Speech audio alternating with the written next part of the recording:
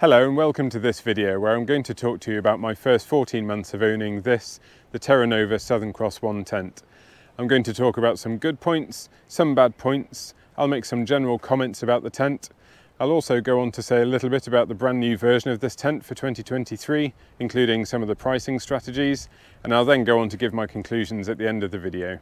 I bought this tent in February 2022 from Cotswold Outdoor for £357. That might seem like a bit of a shock at the moment because right now these are retailing at £700 on the Terra Nova website, but in February last year this was £420 on Cotswold Outdoor I was then able to apply a National Trust 15% discount and that brought this down to just under £360. I've taken this tent out on 14 camps so far and I've experienced every type of weather condition going in the UK I think. I've taken it out in lovely warm sunshine in Dartmoor. I've taken it out in some really heavy rain and damp conditions in Dartmoor as well.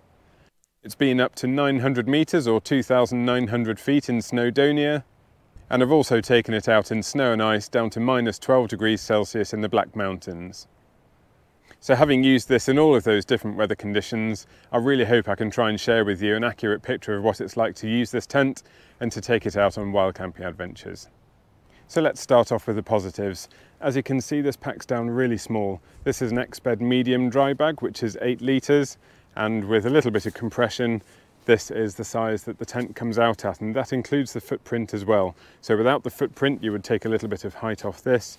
I must say that Terra Nova don't recommend compressing your tent but I find that if you're careful there's no issue with that. This pack size doesn't include the poles. So here are the poles. They are nice and light, there are just two of them there and I'll show you how it all goes together soon. This tent is made of really good quality materials and Terra Nova backed that up with a lifetime warranty that lasts the lifetime of the tent.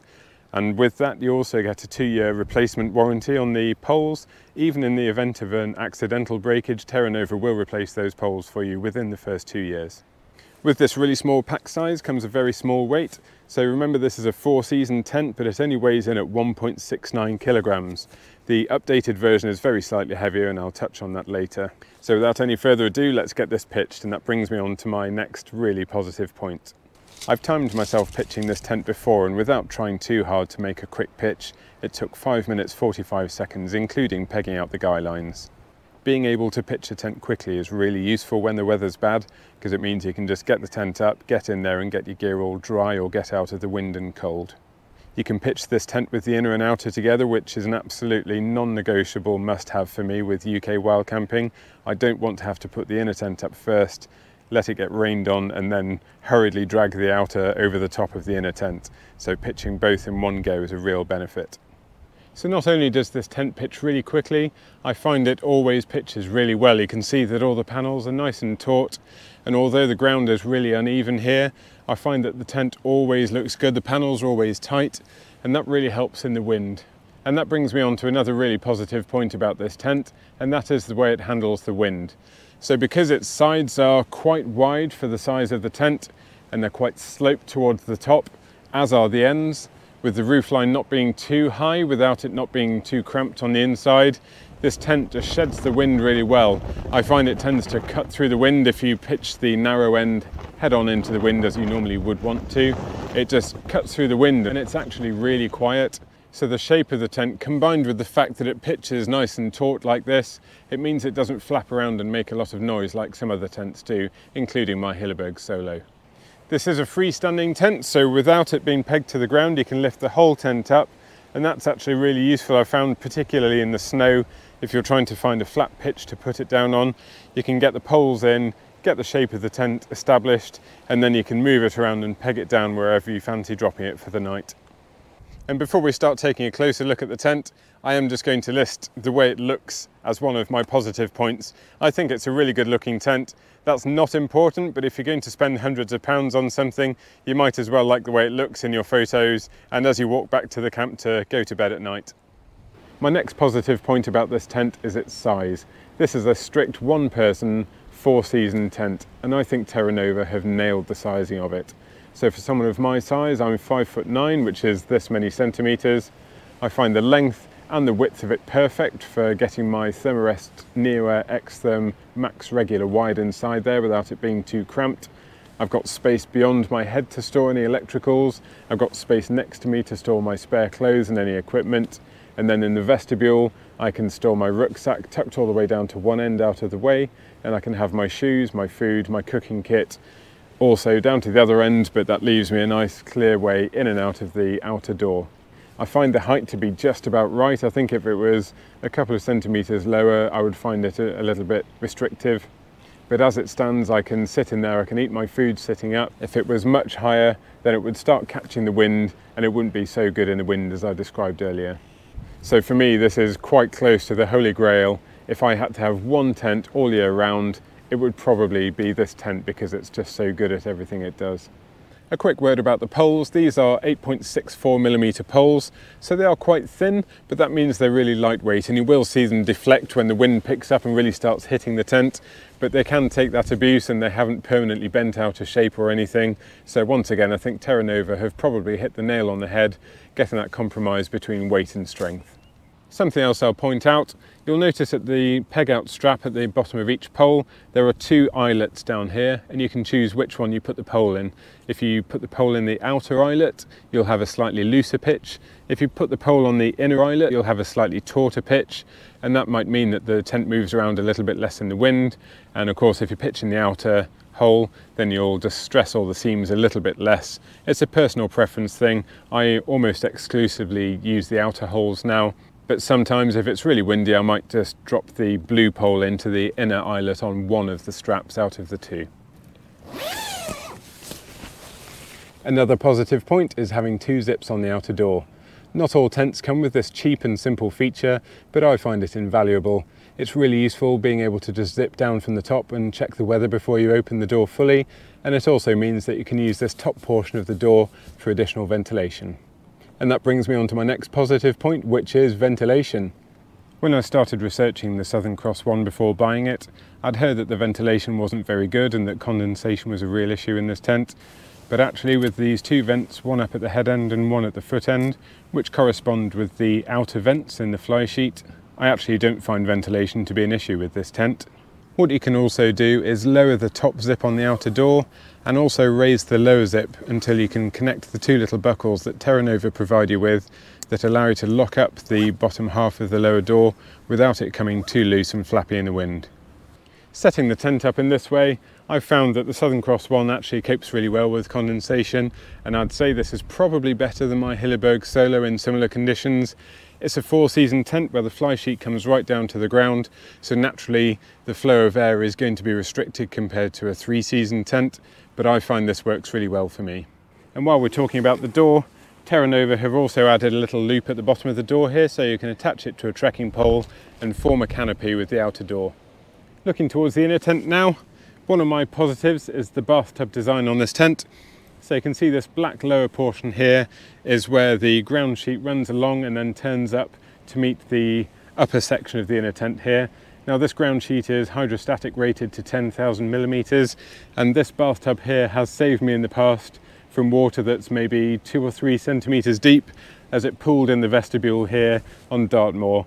I was watching that water level very closely and I'm very pleased to say that it didn't come over the bathtub here so this really saved me that night. And my last positive point is going to be about the convenience items on the inside of the tent. So we've got these little hanging loops in here and I tend to hang my Flextail tiny pump 2X from one of these loops. So you disconnect the little ring, clip it back into the pump body, and then that can serve as your lantern to light up the inside of your tent.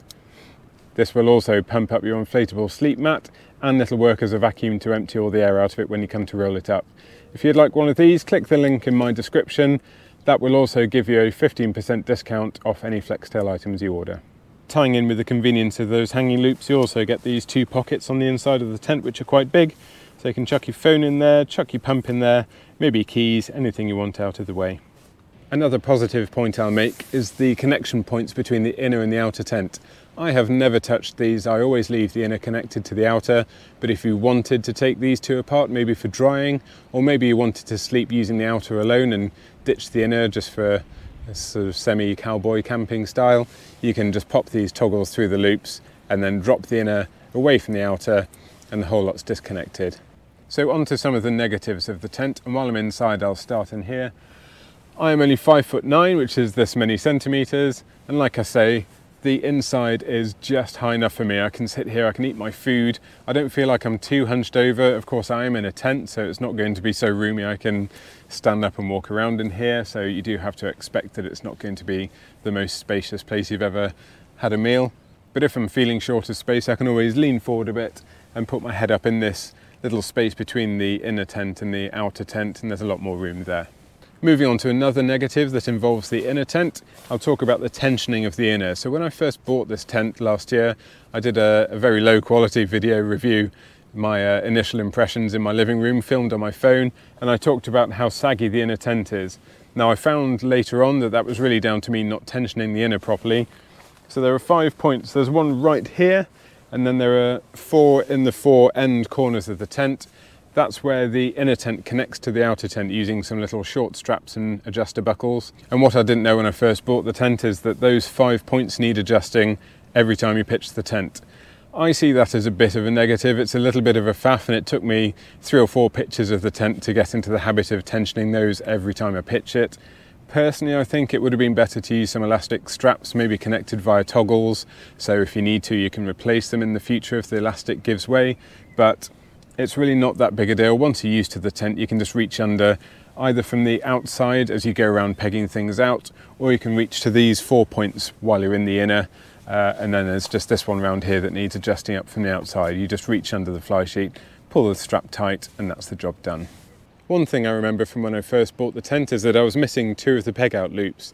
So this tent, including the guy line, should take 13 pegs to pitch, but I could only use 11 because these little lengths of yellow Dyneema attached to the central blue pole peg out loops were missing. All I did was drop Cotswold Outdoor an email because they were the retailer I bought this tent off.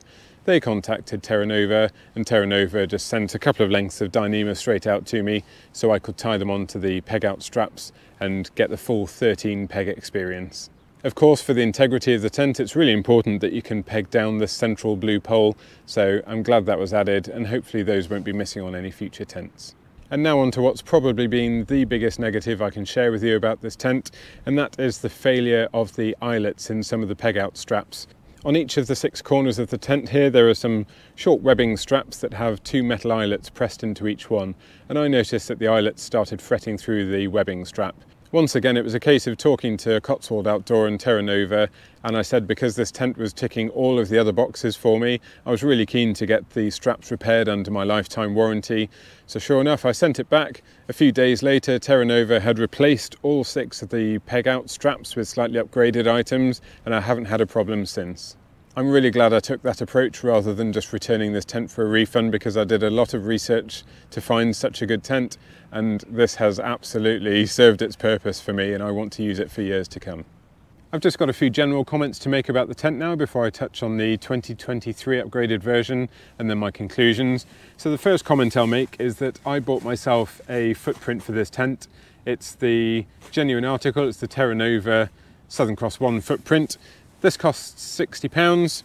I have already released a video about this footprint, so I'll leave a link to that video in the description. But footprints are really good for giving you a nice clean, dry area to work in here. You can kneel on it, you can cook on it. And if you've got snow on the ground, it means that you don't have to worry about it melting and getting everything wet. So personally, I would recommend one of these. It also really protects the underside of your tent doesn't add a lot of weight and I've also released a video on how I connected this footprint to the peg out straps using some very cheap little plastic toggles. I'll leave a link to that video in the description as well or you can find it in my catalogue of videos. I'll now give you a quick rundown of the updates Terra Nova have made to this tent for the 2023 season and I'll start with the biggest improvement and that's the addition of a hood up at the top of the door here.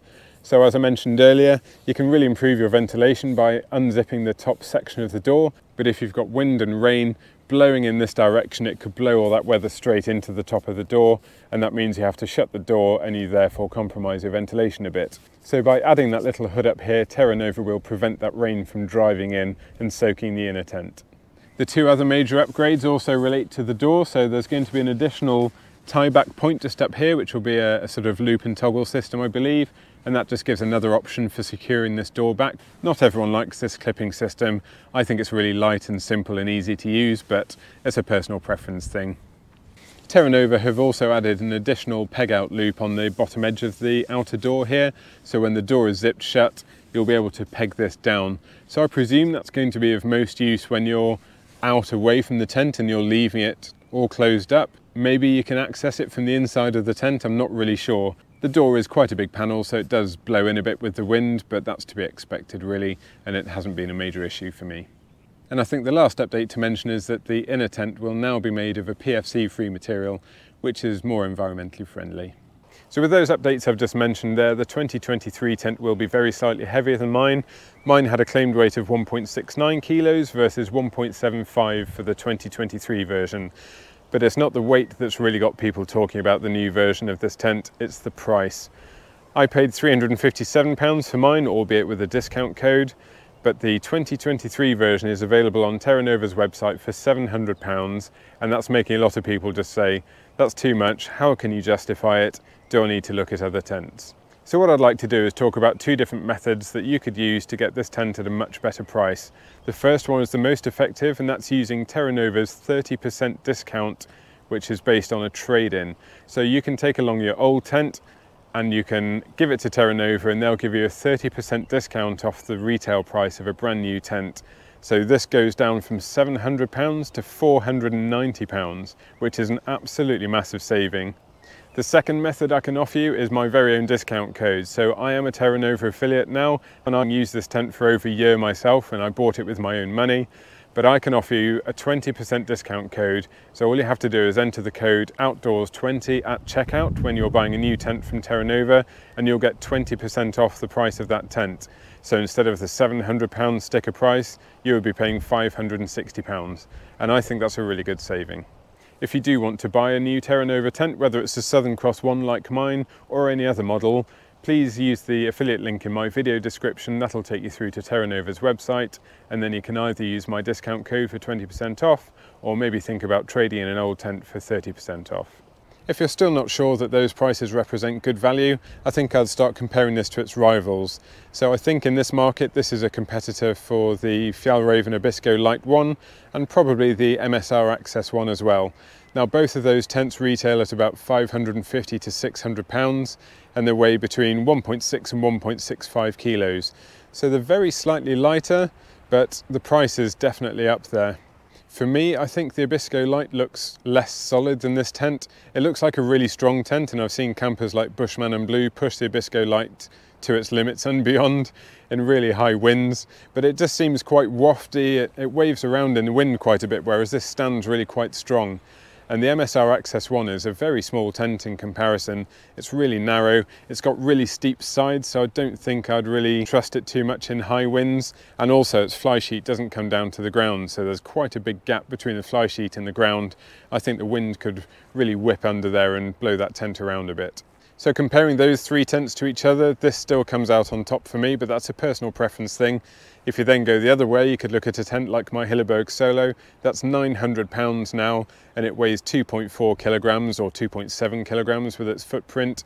It is a very strong tent. It's meant for really extreme conditions, and I don't really think the two tents naturally sit next to each other in the market but I often find myself trying to choose between my Solo and my Southern Cross one and the Southern Cross wins eight times out of 10 because it's just so light and I would rather save 700 grams on my pack weight without really sacrificing so much strength that I have to worry about how safe I'm going to be in the night.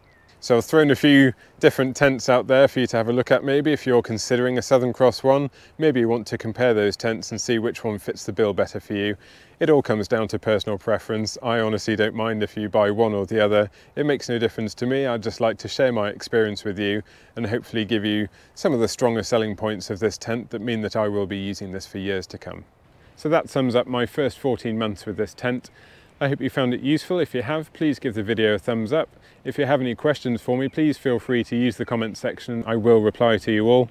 If you'd like to support my channel, please consider subscribing. And if you'd like to buy one of these tents, I'd really appreciate it if you used my affiliate link and discount code if they work for you, because I earn a small commission off those tents. And I really want to keep putting money back into this channel for things like GoPros. So I've been wanting a second GoPro for quite a lot of months now, but they cost a lot of money. And every little bit of commission I earn can go into that pot to improve my filming equipment to bring you better videos going forward.